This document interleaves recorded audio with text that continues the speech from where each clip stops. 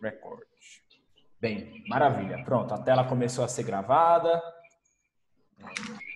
Uhum. Maravilha. Tá? Fiquei grandão agora para vocês. Uh, vamos lá. Bora. É isso. Espera aí, gente. Tem mais gente para entrar. Aqui. Qual a apostila? Meu Deus, estou perdida. Calma, Cíntia. A apostila é número 1, um, tá? O módulo 5 é a apostila número 1. Um. A gente vai finalizar hoje o módulo 1, um, tá bom? Beleza? Meu Deus, estou perdida. Adorei. Uh, deixa eu ver. Tá, gra... tá gravando. Isso, tá gravando mesmo. Maravilha, tava preocupado com isso. Então tá.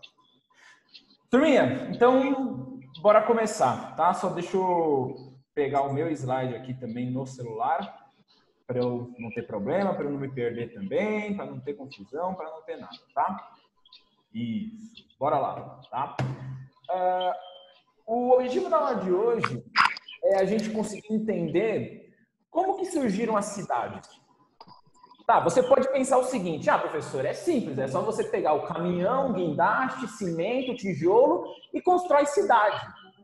Tá, tudo bem, mas eu estou falando que existiam cidades 5 mil antes de Cristo. É isso mesmo, 5 mil antes de Cristo surgiram as cidades. E eles não tinham as tecnologias que nós temos hoje. Então, assim, é, quais são as características base para que seja possível a existência ou surgimento de uma cidade? Como que aqueles povos que eram nômades, que ficavam indo de um lugar para o outro, se fixaram numa região e aí criaram a cidade? Esse é o objetivo da aula de hoje. E no finalzinho, falar de religião com vocês, tá? Falar a diferença entre monoteísmo e politeísmo, tá?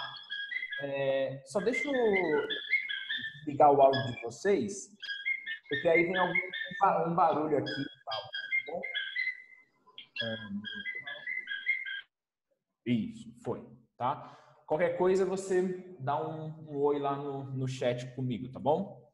Voltando. Uhum. Então vamos lá. Apostila número 1, um, módulo 5, vida urbana e religiosa, tá? No próximo slide vai vir um mapa para vocês aonde surgiram essas primeiras cidades, tá? Olha lá, onde surgiram essas primeiras cidades, tá? O que, que elas têm em comum? Tá aí. Você tem a cidade de Tebas, Gizé, de Uruk, é, Harapa, cidade de Ur, você tem todas as cidades, as primeiras cidades. O que, que elas têm em comum?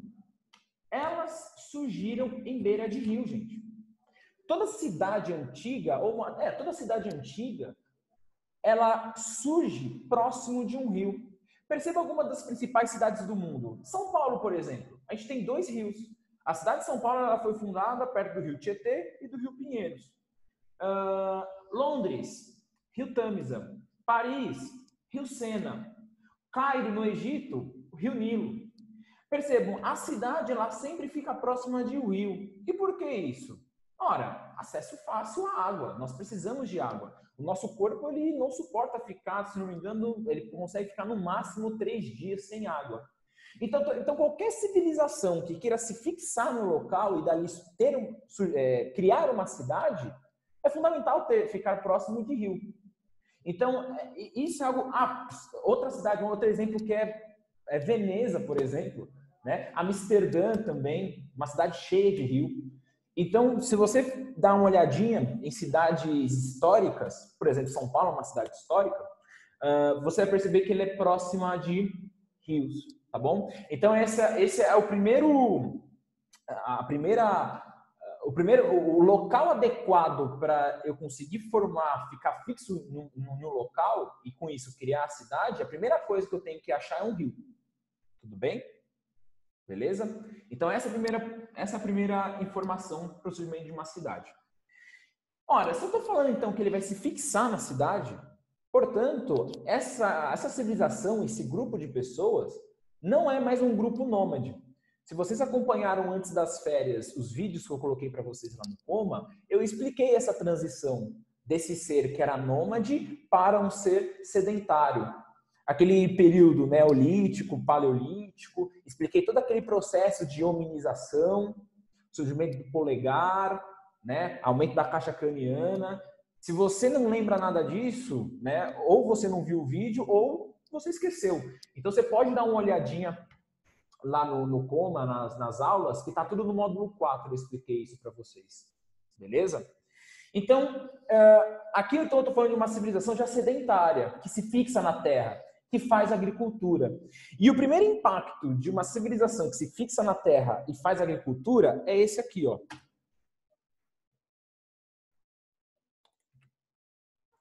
Uhum, peraí, gente. É, tem um pessoal para entrar aqui na aula. Isso. Pronto. Tá? É, no Machado eu vou assistir às aulas e está bloqueado.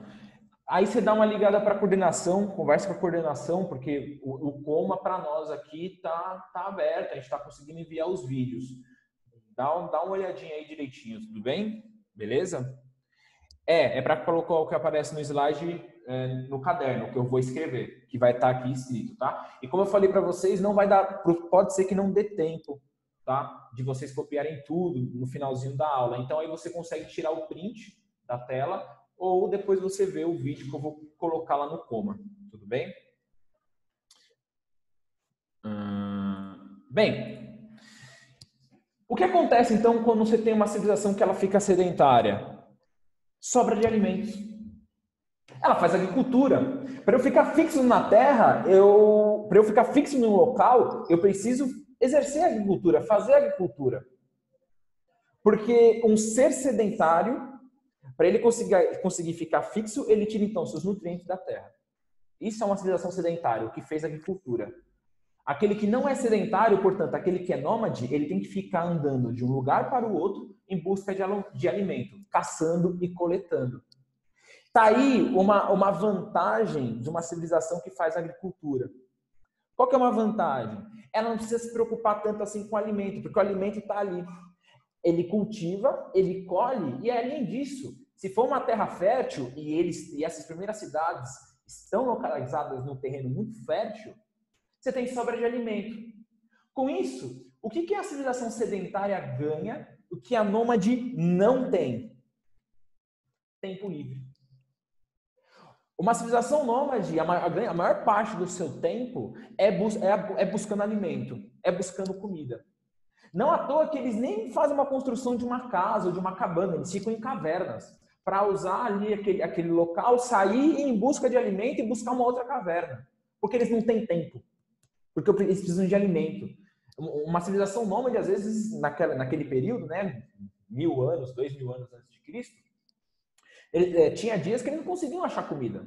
Conseguiam achar algum, algumas frutas, mas carne, né, proteína, não, não achavam. Então, a, a lógica constante era o quê? Comida, comida, comida. Quando você fica sedentário, quando você faz agricultura, opa, eu consigo todo esse meu tempo que eu usava para em busca de alimento, eu posso usar para outras coisas. Eu posso utilizar esse tempo para outras coisas. E aí nós vamos ver que tipo de coisas são essas. Tá bom? E tudo isso vai contribuir para o surgimento da cidade. Beleza? Então. Hum, pronto. Beleza? Tá? Seguindo então o próximo slide, que eu faço um, um resumo para vocês do que eu acabei de falar. Com maior tempo livre, por causa do estoque de alimentos, as pessoas começaram a se preocupar com outras atividades. A primeira coisa que acontece, a primeira coisa que acontece quando é, você você se fixa no local é você buscar coisas que vão te ajudar na hora de você fazer agricultura, principalmente na hora de você armazenar, porque eu estou tendo sobra de comida. Com sobra de comida, eu tenho tempo livre. O que, que eu faço com esse tempo livre? O que, que eu posso fazer que vai me ajudar na agricultura? O artesanato, por exemplo, na reserva de alimento. Eu preciso armazenar, eu preciso colocar esse, essas sementes que sobraram, esses frutos que sobraram em algum lugar.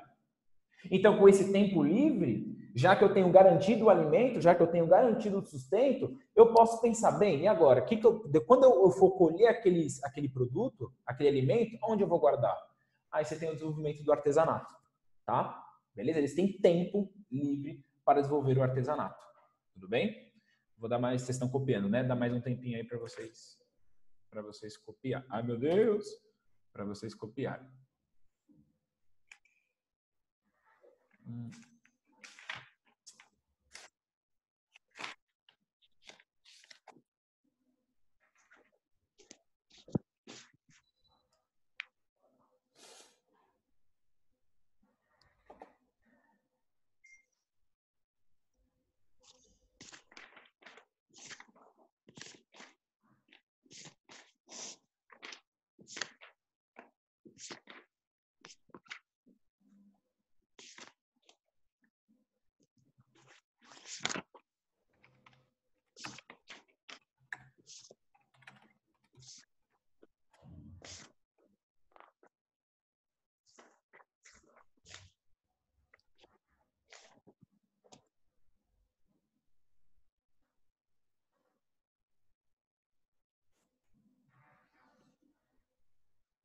Beleza, turma?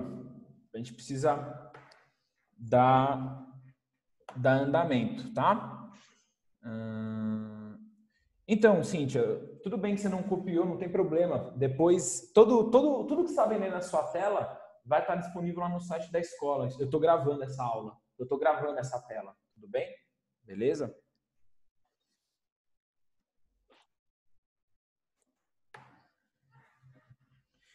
Bem, gente, Bora lá. Uh, eu tenho tempo livre, então vou desenvolver o artesanato. Tudo bem. Uma segunda coisa que ele vai desenvolver, já que eu tenho sobra de alimento, e eu não tenho só aquela civilização que ficou sedentária, eu vou ter outros grupos que também que estão próximo do rio, isso é importante, que estão próximo do rio, que também vão ficar sedentários e também vão fazer produção de, de outros alimentos. Com isso, com sobra de alimento e com tempo livre, e com esse armazenamento, o que vai ser possível ser desenvolvido? O comércio. O comércio não precisa copiar o que está embaixo da imagem, tudo bem? Não precisa copiar. Só copia o comércio, tudo bem? Para a gente poder, para dar tempo de fazer as coisinhas, tá bom? Uh, então, o comércio é outro fator quando você tem um grupo, quando você tem essa sedentarização, quando você tem uma civilização que faz agricultura. Você tem sobra de alimento. Com sobra de alimento, ora, então eu consigo trocar esse alimento com outro alimento com uma outra cidade, com uma outra civilização que está próxima de mim, certo? E o último aqui que eu queria dar destaque, então, você tem o comércio, e o último que eu queria dar destaque é em relação à construção de muralhas. Com tempo livre, então, eu também garanto a proteção. Muralha aqui, ele está como um sinônimo de proteção. Eu preciso proteger a minha civilização, eu preciso proteger o meu grupo de um determinado ataque uma determinada invasão. Tudo bem? Então, olha quanta coisa foi desenvolvida graças ao tempo. Mas atenção, só é possível tempo livre quando você desenvolve a agricultura. Você tem tempo livre para isso, porque você, tá, você tem garantido o quê? Alimento, energia, sobrevivência. Tudo bem? Beleza? Portanto, galera, fazendo aqui um, um slide aí de de resumo aqui para vocês. Uh, só uma curiosidade aí na, na, imagem da direita você tem a cidade de Machu Picchu, tá? Que fica uh, hoje no atual, no, no atual Peru. É, nós vamos estudar sobre a civilização Inca, tudo bem? Acho que lá na apostila 3 ou 4, tudo bem? Bem, especialização.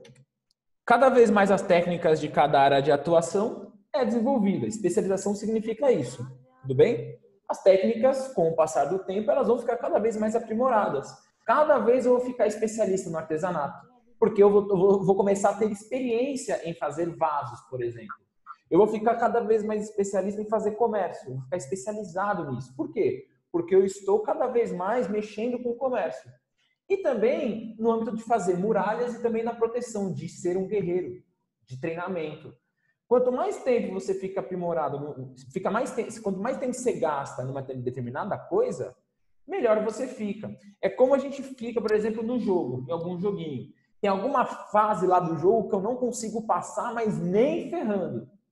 Ora, tanto tempo que você gasta ali naquela fase, chega uma hora que você passa.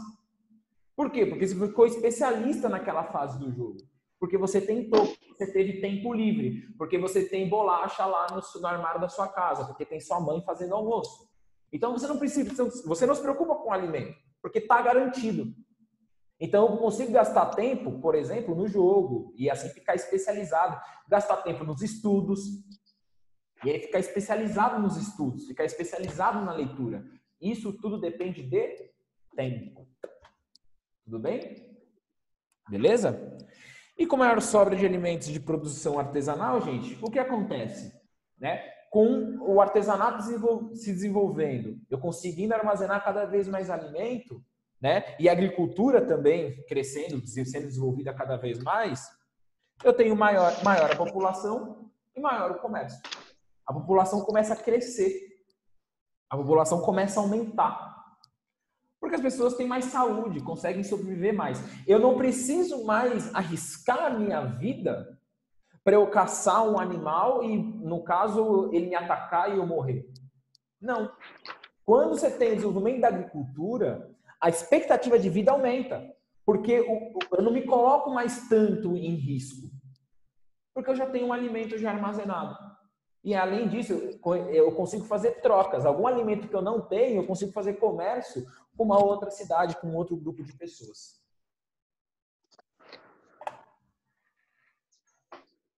Beleza, gente? Acho que tá tá rolando. Hum, ah, meu Deus. Espera aí que veio uma mensagem para mim.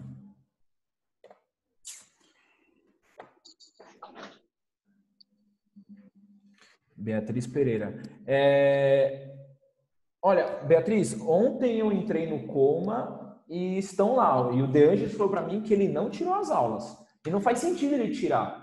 Né? Pra, é para você sempre ter acesso a essas aulas, tá? As aulas anteriores aí, às férias.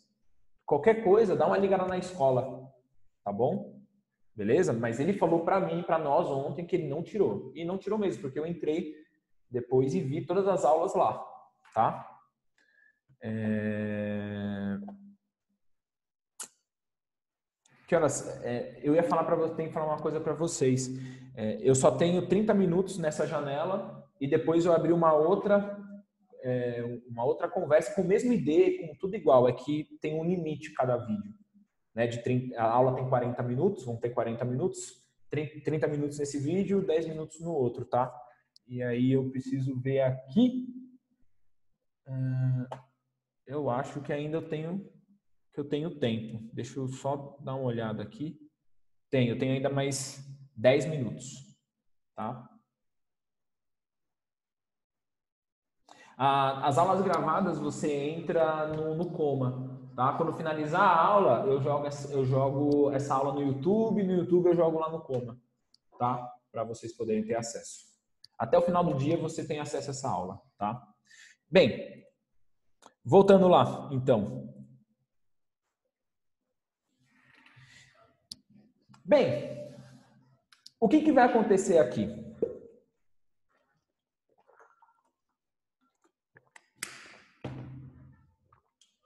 Vai acontecer o seguinte: cada vez mais essa cidade vai, essa, essa, esse grupo de pessoas vai aumentar. E daí você vai começar a ter diferenças. Que tipo de diferenças? Ora, se cada vez esse grupo de pessoas vai aumentando, vai aumentando, vai aumentando, eu não posso utilizar a mesma organização que eu tinha antes. No, no início, as civilizações eram pequenas. Então todo mundo se conhecia. Mas com o passar do tempo, ele foi aumentando, aumentando. Como que eu organizo isso? Como eu organizo essa civilização que está aumentando cada vez mais? É isso que eu vou mostrar para vocês. Como que esses grandes essa, essa civilização que tinha um número razoável, todo mundo se conhecia. Mas aí do nada foi aumentando, aumentando, aumentando, aumentando. Tudo bem? É isso que eu vou explicar para você nesse próximo slide, tá? Então, bora lá.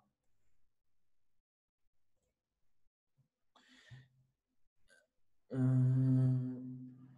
Você tem aí o nascimento de uma liderança. E como, e como é que eu escolho um líder? Como que eu escolho um líder? Como que eu escolho aquele que vai representar, que vai nos representar? Que tipo de habilidades ele tem que ter, essa liderança? Bem, primeira característica é ele resolver os conflitos internos e externos. Eu vou escolher a pessoa que consegue nos proteger dos invasores, esse aí, então, os conflitos externos, mas também eu vou escolher um líder que seja justo.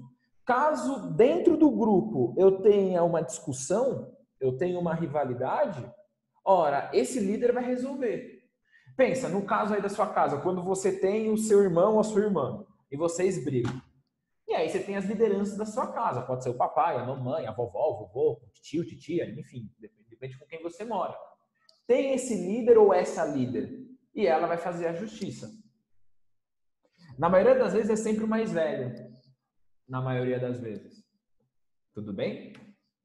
Beleza? Então a liderança está relacionada a isso, a resolver os conflitos internos e resolver os conflitos externos. E aí, esse líder, sendo uma pessoa sempre justa e garantindo a proteção, opa, é, beleza, 10 minutos, ok. O líder ganha mais poderes e se torna governante. Professor, como eu faço? Eu não fiz. Cíntia, vou falar de novo. É, o módulo 4 está lá no Coma. Tenta ter o acesso lá. Se você não conseguiu acesso, Cíntia, dá uma ligada na escola para o De Angelis, pra, fala para mamãe e papai ligar para o De Angelis, falar com a escola para poder te, te instruir, porque estão lá as aulas do módulo 4. Tudo bem? Beleza? É... Bem. Então o líder ganha mais poderes e se torna governante. Governante. Eu vou governar toda essa região que aumentou, que cresceu. Quando a cidade ela cresce muito, turminha, as relações não são mais diretas como era antes. Todo mundo tinha acesso ao líder. Quando a cidade cresce muito, as pessoas não têm. Por exemplo, alguém aí em casa tem o telefone do prefeito da cidade de São Paulo? Creio que não, telefone íntimo, WhatsApp do prefeito. Fala, ei, prefeito, beleza? Nós? Não. Você não tem. Para você ter acesso ao prefeito, às vezes você fala com um delegado de polícia, às vezes você pode falar com o diretor de uma escola, uma escola pública, você vai, vai começar a ter intermediários para ter essa imposição de regras do líder, que é a sua lei e justiça. Então, quando a cidade ela cresce muito, o líder, necessariamente, ele vai precisar desses funcionários aqui que está em vermelho. Desses intermediários. Porque ele não consegue ir na casa de todo mundo. Ele não consegue visitar todo mundo. Porque a cidade cresceu. As pessoas conseguiram ter bastante filho. Por causa lá do alimento, das reservas de alimento. Toda, aquele, toda aquela especialização que nós vimos aí nos slides anteriores. Portanto, olha como, olha, olha como vai estar se aproximando com a nossa cidade. Olha como a cidade ela vai nascendo. Você não conhece todo mundo da cidade de São Paulo. E aqui começa a acontecer a mesma coisa. Oh, meu Deus, o que aconteceu aqui? Fiz, fiz um risco, me empolguei aqui. Na tela saiu um risco verde aqui. Mas tudo bem, segue. então é isso que acontece. Esse governante, esse líder, não consegue governar sozinho. Ele vai precisar criar funcionários. E que tipo de funcionários são esses? Né? Um desses funcionários, generais. Eu preciso do exército para garantir a minha lei, para garantir a justiça. É como se fosse a polícia. Tudo bem? O prefeito tem a polícia. Para garantir o quê? Justiça, garantir a lei, garantir a ordem. Para que as coisas não saiam do controle. Para que as pessoas não façam o que elas querem. Entendeu? Então, um dos funcionários generais. Segundo funcionário aqui, fundamental para esse tipo de civilização, para esse tipo de cidade. Sacerdotes. Esses sacerdotes, turma, vão ser fundamentais por quê? Para que o líder possa impor a sua vontade, para que o governante possa colocar a sua vontade, o que, que esses líderes religiosos vão fazer? Sacerdote é um líder religioso. Eles vão dizer que esse governante é escolhido por Deus. Então, nas primeiras cidades, os governantes eles vão ter essa ligação com Deus. E vão ter pessoas, líderes religiosos, como os, os sacerdotes, vão dizer o seguinte: o nosso governante fala em nome de Deus. Então, nós temos que aceitar as suas regras, aceitar as suas leis. Uma forma de controle fundamental. E eu posso dar exemplos. Por exemplo, o faraó. O faraó no Egito. No caso, a imagem aqui do lado do faraó, né? O faraó, ele se encaixa muito bem nisso. Você tem líderes, lideranças religiosas, vamos lá, os padres do Egito, né, os pastores do Egito, vai para a gente pra eu facilitar para você, né, que são esses líderes religiosos, vão dizer o seguinte, ó, o nosso governante é, é, fala em nome de Deus, certo? Beleza? Então tá aí um funcionário fundamental também para que é, o, o governante consiga colocar a ordem. Um outro funcionário fundamental também são os fiscais, os escribas. É fundamental o governante ele ter controle dos impostos, quem está pagando imposto, quem não está pagando imposto. Quem é que está, como que estão sendo as colheitas na minha região? Esse ano, esse ano eu vou ter uma boa colheita ou vou ter uma péssima colheita? Hum, se eu tiver uma péssima colheita, eu, eu, se, o, se o escriba tá lá anotado, bonitinho, ó, esse ano a colheita não vai ser tão boa assim, viu? Eu tô vendo o pessoal pagando os impostos, né? Ó, não vai ser muito bom não. Então o governante ele consegue faz, arranjar outras saídas.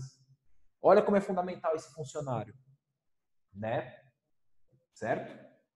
Então tá, então aí alguns dos principais funcionários que você vai encontrar na sua é, na sua apostila, tudo bem? Generais, sacerdotes, os fiscais, para analisar essa cobrança dos, dos impostos, analisar, a, organizar as riquezas dessa cidade que está nascendo, tá? E aí, turminha, aqui eu vou ter o surgimento do Estado. O que é esse surgimento do Estado? Uma cidade-estado. É, tá faltando três minutos para acabar é, Vixe, eu não sei, eu não sei que alguém falou aqui que apareceu uma coisinha na tela. Vixe, eu não sei também. não sei. É... Bem, eu vou eu vou iniciar o próximo o, o próximo sala de reunião aqui, né, do, do aplicativo, para não cortar no meio, tudo bem? Beleza? Aí eu preciso explicar para vocês o surgimento dessa cidade-estado, tudo bem? e aí eu finalizo a aula. Nos outros 10 minutos eu finalizo a aula, tudo bem? Beleza? É, então, tá. Isso, é que tá acabando o nosso tempo de, de aula desse, dessa, dessa sala de reunião aqui do aplicativo. Faltam dois minutos. O que, que eu vou fazer? Eu vou encerrar esse vídeo e vou abrir uma outra reunião, entendeu? Para eu finalizar essa aula. E isso vai acontecer com os outros professores mim ao longo do dia. E aí vocês vão fazer a mesma coisa, é, a mesma coisa que vocês fizeram aí anteriormente. Vai ter o ID, vocês vão colocar lá e vocês vão entrar de novo na aula. Tudo bem? Beleza? Então eu vou finalizar aqui e aí eu vou, eu vou voltar aqui. Sim, entra no mesmo ID, mesmo ID, mesmo ID. Tudo bem? Beleza? Vamos lá então.